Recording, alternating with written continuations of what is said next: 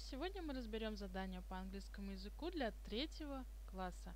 Рабочая тетрадь к учебнику English 3, автор Кузарлев. Activity Book, Unit 2, Lesson 2, Page 15, Exercise number 1 and 2. Рабочая тетрадь, раздел 2, урок 2, страница 15, упражнение номер 1 и 2.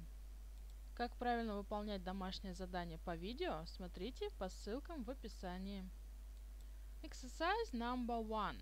Упражнение номер один. В этом задании нужно перевести название сказок и поставить стрелочки к их русским аналогам. Обязательно ставьте на паузу и постарайтесь перевести название с помощью словаря, а также расставить стрелочки. Поставили на паузу? Получилось? Great. А теперь давайте переведем вместе. Silly spiders. Silly – глупый, spiders – пауки. Глупые пауки. Стрелочка уже стоит. 33 wise rhinos.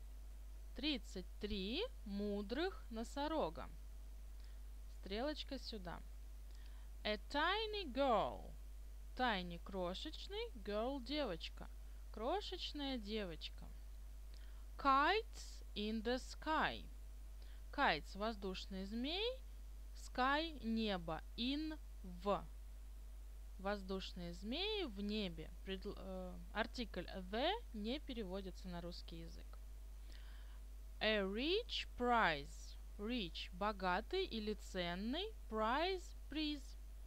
Вот сюда стрелочка первым справились, отлично. Exercise number two. Упражнение номер два. В задании нужно выбрать из названий выше слова с буквами I and Y и распределить их по правилам чтения. Давайте вспомним правила чтения этих букв. Буква Y в открытом слоге и буква э, прошу прощения, буква I в открытом слоге и буква Y под ударением – читаются как «ай». Буква «I» в закрытом слоге и буква «y» в конце слова без ударения читается как «и», кратко «и». А также сочетание букв «I», «r» читаются как «a», например, «girl». А теперь поставьте на паузу и распределите слова по строчкам на черновике. Я думаю, вы отлично справились. Давайте проверим. Найдем слова с буквой I в открытом слоге и буквой Y под ударением, которая читается как I.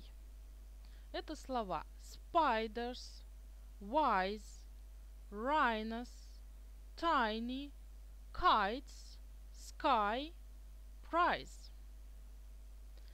Теперь рассмотрим букву I в закрытом слоге и также букву Y в конце слова без ударения. Читается как И. Silly, thirty, tiny, in, rich.